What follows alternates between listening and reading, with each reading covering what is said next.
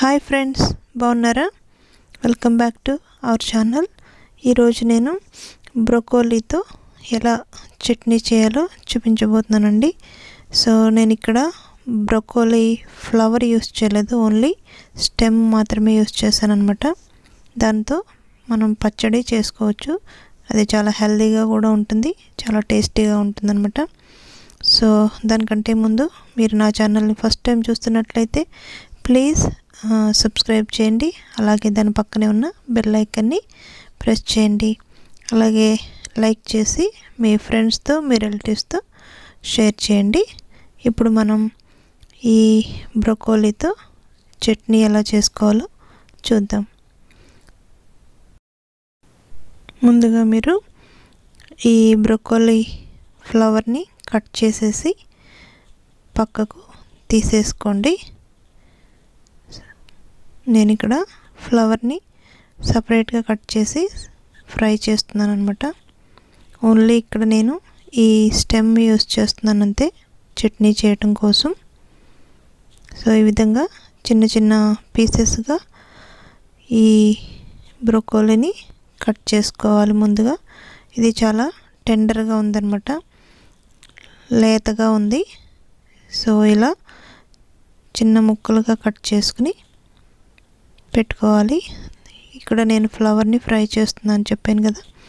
ముందుగా ఒక sauce pan తీసుకుని దానిలో ఒక టూ టేబుల్ స్పూన్స్ ఆయిల్ వేసుకోవాలి. తర్వాత ఒక టీ స్పూను ఫెనుగ్రిక్ సీడ్స్ మెంతులు. తర్వాత ఒక రెండు గార్లిక్ క్లోవ్స్ తీసుకున్నాను ఇక్కడ నేను. అలాగే క్యూమిన్ సీడ్స్ మస్టర్డ్ సీడ్స్ నేను రికార్డ్ చేయడం మర్చిపోయాను అనమాట అవి కూడా ఒక్కొక్క టీ స్పూన్ వేసుకోవాలి. తర్వాత ఇక్కడ నేను ఒక పది పచ్చిమిరపకాయలు వేసాను. మీకు మీ టేస్ట్కి సరిపడగా వేసుకోవచ్చు. ఎండుమిరపకాయలు కూడా యూస్ చేయొచ్చండి.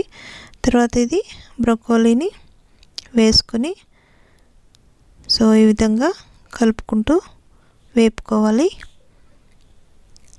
సో సాల్ట్ టేస్ట్కి తగినంతగా తర్వాత టర్మిక్ పౌడర్ కూడా ఒక పావు టీ స్పూన్ వేసుకోవాలి. తర్వాత ఈ విధంగా తిప్పుకుంటూ తర్వాత ఒక ఫైవ్ మినిట్స్ లిడ్ పెట్టేసుకుని మధ్యలో తిప్పుతూ ఉండాలి. ఇప్పుడు లిడ్ ఓపెన్ చేసి ఒక టూ లార్జ్ టొమాటోస్ కానీ లేదా షెర్రీ టొమాటోస్ ఒక టూ ఫిఫ్టీ గ్రామ్స్ కానీ వేసుకోవాలి. నేనైతే షెర్రీ టొమాటోస్ యూస్ చేశాను ఇక్కడ. ఇప్పుడు అవి టొమాటోస్ సాఫ్ట్ అయ్యే వరకు కవర్ చేసుకుని మధ్య మధ్యలో తిప్పుకుంటూ ఉండాలి. స్టవ్ ఆఫ్ చేసుకుని పూర్తిగా చల్లారే వరకు ఉంచుకుని సో మిక్సీ జార్లో ఇది వేసుకుని పేస్ట్ లాగా గ్రైండ్ చేసుకోవాలి. సో ఇప్పుడు మనం దీని ఒక బౌల్లోకి ట్రాన్స్ఫర్ చేసుకుని తర్వాత టెంపరింగ్ కోసం ఒక చిన్న ప్యాన్ తీసుకోవాలి. దానిలో ఒక టీ స్పూన్ ఆయిల్ పోసుకుని తర్వాత ఒక హాఫ్ టీ స్పూను జీలకర్ర వేసుకోవాలి. ఆ తర్వాత ఒక half teaspoon mustard seeds కూడా వేసుకుని తర్వాత ఒక రెడ్ చిల్లీ వేసుకోవాలి. ఎండుమిరపకాయ వాటిని ఫ్రై చేసుకుని ఇప్పుడు కరివేపాకు ఫ్రెష్ది ఉంటే వేసుకోండి. నా దగ్గర లేదు అందుకే నేను డ్రై వేస్తున్నా. కొరియాండర్ కూడా యాడ్ చేసుకోండి. తర్వాత ఇప్పుడు ట్యాంపరింగ్ని చట్నీకి తాలింపుని యాడ్ చేస్తున్నాం.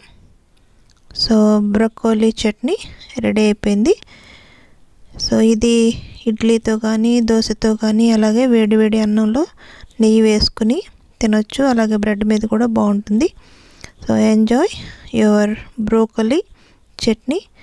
Hope ఈ వీడియో మీకు నచ్చింది అనుకుంటున్నాను నచ్చినట్లయితే నా ఛానల్ని సబ్స్క్రైబ్ చేయండి. అలాగే దాని పక్కనే ఉన్న బెల్ ఐకన్ని ప్రెస్ చేయండి. నోటిఫికేషన్ వస్తుంది. అలాగే లైక్ చేసి మీ ఫ్రెండ్స్తో మీ రిలేటివ్స్తో కూడా షేర్ చేయండి.